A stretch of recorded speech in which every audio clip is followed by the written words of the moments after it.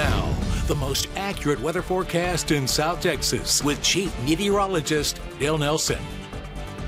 Hi, everybody. Welcome back. Well, our uh, live uh, picture is from Buck Stadium. This is our mass cam out there where uh, Alan Harwell will have a report on tonight's football game uh, going on at Buck Stadium. You can see a gentle breeze and uh, crystal clear skies. A good night for football, but a very warm night and a humid one as our dew point temperatures are way up in the 70s.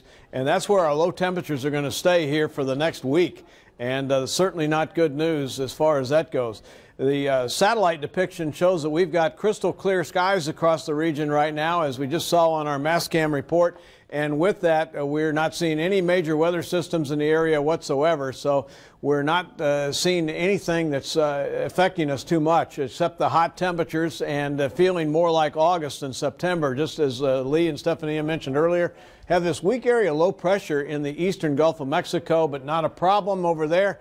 And uh, then we have Jose, which has weakened into a tropical storm in the Atlantic.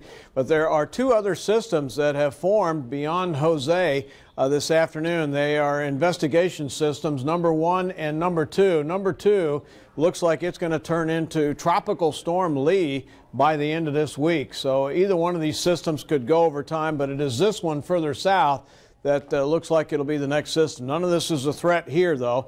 We continue to have dry air and the water vapor imagery in brown. That's what's giving us the hazy but clear skies and that southwesterly flow aloft. That's going to go away, and this moisture off the Yucatan Peninsula and over here in the southern Gulf right here, that's going to sneak around the backside of this and come in on Sunday and bring us some rain. Not a lot of rain, as we talked about, but some rain. Here it is on the future tracker. Again, we've got mainly clear skies across the region overnight. Sunny but hazy skies again tomorrow, almost a carbon copy of today. Saturday, morning clouds giving way to afternoon sun, so a little bit more cloud cover on Saturday, but still a lot of sun to go around. But on Sunday, Sunday, we're going to start to pick up at least isolated showers here Sunday afternoon as that tropical moisture off the Yucatan spreads into the region. Again, not all of us will get rain, but at least some of us will.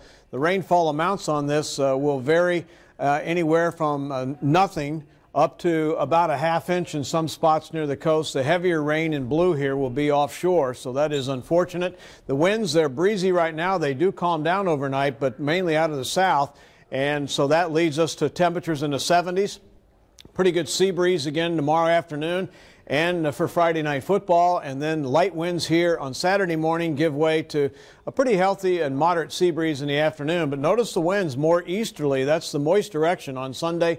So that means that we'll see an increase in rainfall opportunity. Tonight, hazy and steamy, humid and warm, and 74 degrees. Tomorrow, expect to see day very similar to today. Lots of sunshine, hazy, hot and humid, and 93 degrees. And uh, your seven day forecast has 94 here on Saturday. We're going to pick up uh, isolated to widely scattered showers Sunday into Monday and the high temperatures come down and then the winds pick up here Tuesday, Wednesday, and Thursday, so no rain and temperatures uh, for lows in the upper 70s. Oppressively hot here, the uh, middle